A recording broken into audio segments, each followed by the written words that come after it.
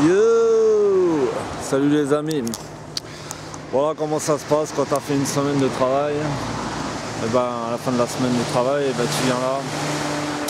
Voilà voilà. Tu te mets en bord de mer, tranquillement. Tu profites de la vie. Regarde ce beau paysage.